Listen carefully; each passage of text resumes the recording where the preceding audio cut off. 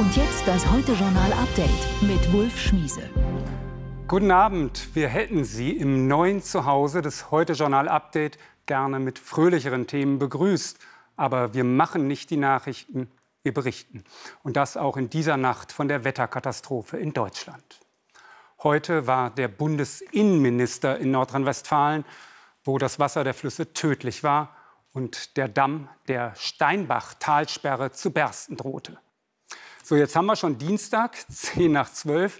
Am Vormittag wird die Bundeskanzlerin in Nordrhein-Westfalen erwartet, um die Flutschäden dort zu sehen.